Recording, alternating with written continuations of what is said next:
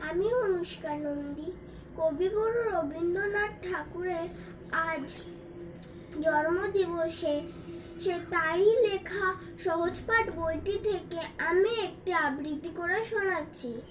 কতদিন ভাবে ফুল উড়ে যাব কবে? যেটা খুশি সেথা যাব, ভারী মজা হবে। তাই ফুল একদিন মেরে দিল ডানা।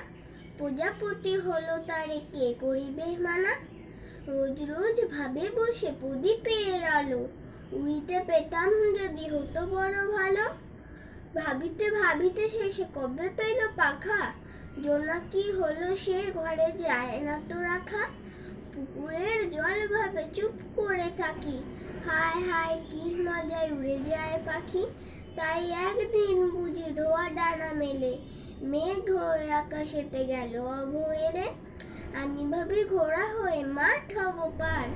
কবু ভাবি মাছ হয়ে কাটিব সাঁতার। কবু ভাবি পাখি হয়ে উড়িব গগনে। কখনো হবে না সে কি ভাবি যাহা মনে। নমস্কার।